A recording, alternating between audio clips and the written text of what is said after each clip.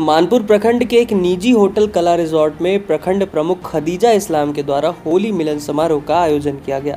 उक्त कार्यक्रम में मुख्य अतिथि राजद के एमएलसी प्रत्याशी कुमार नागेंद्र उर्फ़ रिंकू यादव, विशिष्ट अतिथि वजीरगंज विधानसभा के कांग्रेस प्रत्याशी डॉक्टर शशि शेखर कुमार उर्फ़ चिंटू सिंह, राजद युवा अध्यक्ष समीर यादव के साथ गणमान्य लोग उपस्थित रहे।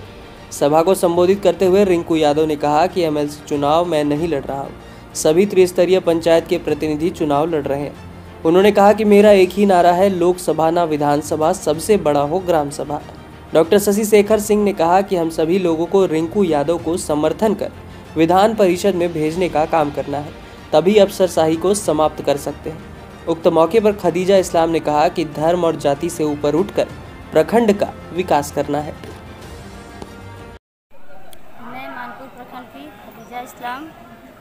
होली और सवरात की सबको शुभकामनाएँ देती हूँ। तथा आशा करती हूँ कि आप लोग शांतिपूर्वक होली और सवरात अच्छे से मनाएँ। कि होली और सवरात एक साथ आया हुआ है एक अच्छे से मनाएँ और सब लोग मिल के रहें मिलजुल के मनाएँ।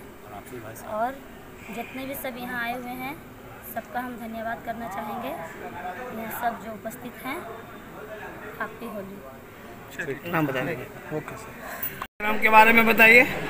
आप विधानसभा के प्रत्याशी हैं और अभी काफ़ी व्यस्तता रहा है आपको।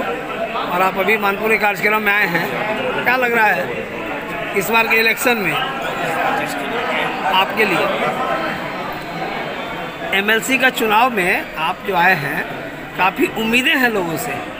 आप कितना खरा उतरेंगे उस पर उस उम्मीद पर पूरा पूरा खरा उतरने का मैं पूरा प्रयास करूँगा। ये उम्मीद भी हम ही जगह है। ये 20 वर्षों में सारे लोग ना उम्मीद विश्वास खो गया। लोग को ऐसा लग रहा था कि एमएलसी कोई चीज़ होती ही नहीं। है 20 वर्षों में एमएलसी की जहाँ तक बात होती थी, एक ही बात होता था, कौन कितना देगा? इस बार हम सबों के बीच में जा करके बताना का बताने का काम एमएलसी किसी को बनने और बनाने के लिए नहीं होता है। एमएलसी आपके लिए होता है।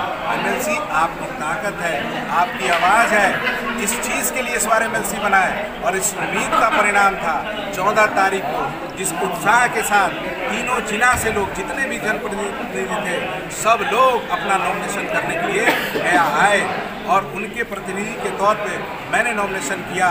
और इस बार का चुनाव हम नहीं लड़ रहे हैं। तीनों जिला के जितने भी मुखिया और वार्ड महोदय जिला परिषद पंचायत समिति ये उनका चुनाव है उनको तय करना है कि इस बार हम लोग वैसे प्रतिनिधि को बनाएँगे जो उनकी आवाज़ बन सके उनके लिए ताकत बन सके। तो क्या ये त्रिस्तरीय जो चुनाव है जो एमएलसी का आवाज़ को सदन तक ले जाने का काम किया जाएगा आपके द्वारा?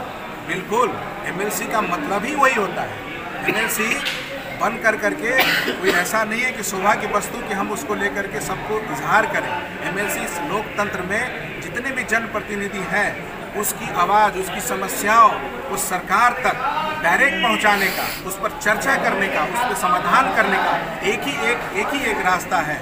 और 20 वर्षों में वैसे लोग अभी तक एमएलसी बने जो इनके समस्याओं के बारे में कभी एक भी दिन, एक भी मिनट चर्चा करने का सोच भी नहीं डेवलप कर पाए समय भी नहीं निकाल पाए इस बार सारी समस्याओं को लेकर के सरकार के कान तक पहुँचाने का मैंने काम करने का पूरा प्रयास किया है। चुनाव से पहले ही मैंने समस्याओं को मुद्दा बनाने का प्रयास किया है। चाहे वो उनका मान सम्मान और पहचान का मुद्दा क्यों न हो चाहे उनका वेतन का मुद्दा क्यों न हो चाहे उनका अधिकारों की रक्षा कौन करेगा ये मुद्दा क्यों न हो आज अब सरसाही जो उनको पर, उनको जितने भी प्रतिनिधि ब्लॉक में थाने में कलेक्टर साहब के यहाँ जाते हैं जो उन, उनका बात नहीं सुना जाता है।